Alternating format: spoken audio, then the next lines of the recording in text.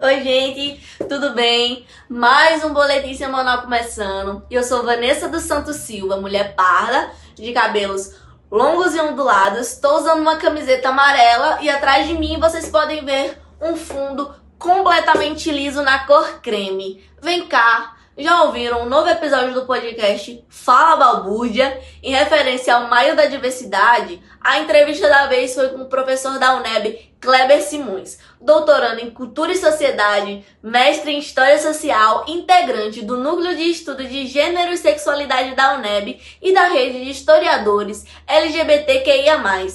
Legal demais, né não, Letícia? Muito legal mesmo, Vanessa. Oi, pessoal, tudo tranquilo? Eu sou Letícia Santos, sou preta, tenho 1,70m de altura e estou utilizando uma blusa rosa com detalhes preto e amarelo meu cabelo está com penteado com trança na gol e com a fibra com coloração castanha. E neste momento estou dentro de uma sala. Sobre o podcast Fala Bambúdia, vale muito a pena conferir, viu, gente?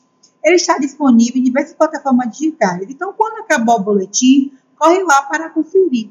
Agora vamos de notícias, que essa edição está muito top. E no boletim semanal de hoje você vai conferir a UNEB divulga edital para financiamento de projetos do Pro Inovação. E a UNEB de Valença realiza eventos sobre educação bilíngue para surdos. Em formato híbrido, a UNEB Ciúdo do Bonfim realiza a 12ª Semana de Enfermagem. O UNEB promove terceiro encontro de brinquedotecas das universidades estaduais da Bahia.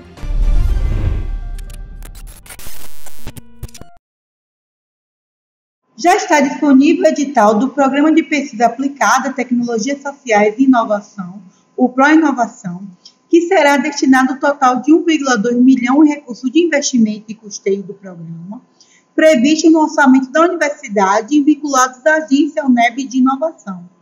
Se interessou? Então fique atento às regras. Então, para participar, é necessário ser docente do quadro permanente da universidade ou docente visitante então, vocês podem conferir o demais critério em www.seleção.neb.br editais. As inscrições vão do dia 16 de maio a 3 de junho. Então, participem! A UNEB de Valência, através do Núcleo de Pesquisa e Extensão e da Unidade Acadêmica de Educação à Distância, convida todos a participarem do evento online com o tema Educação Bilingue para Surdos, uma discussão necessária. A transmissão será no canal TV DEDC 15 no YouTube e acontecerá no sábado, dia 14 de maio. Para participar, acesse o site www.sge.uneb.br e se inscreva até o dia do evento. As vagas são limitadas, hein? E para mais informações, através do telefone 719 9218 4693. Começa amanhã, dia 12 de maio, a 12 edição da Semana de Enfermagem da UNEB. O evento terá programação também no dia 13 e acontecerá em formato híbrido a atividade é uma realização do colegiado do curso de enfermagem da UNEB de Senhor do Bonfim e conta com conferências, palestras e mesa redonda que refletirão sobre os aprendizados profissionais desenvolvidos durante a crise sanitária provocada pelo coronavírus. As ações online serão transmitidas através do canal do Grupo de Pesquisa sobre o Cuidado e Enfermagem, no canal do YouTube e pela plataforma Microsoft Teams. E para ampliar a discussão e reflexão sobre as brinquedotecas universitárias, o Grupo de Trabalho para a Implementação do Programa de Apoio às Brinquedotecas da UNEB realiza o terceiro encontro das brinquedotecas das universidades estaduais da Bahia e o primeiro encontro internacional das brinquedotecas universitárias. O evento será online através da plataforma do Microsoft Teams e acontecerá entre os dias 26 e 27 de maio de 2022. As inscrições vão até o dia 20 de maio e podem ser realizadas através do site www.sge.neb.br. Vão rolar diversas atividades, como palestras, mesas redondas, conferências e além de atividades artísticas e culturais.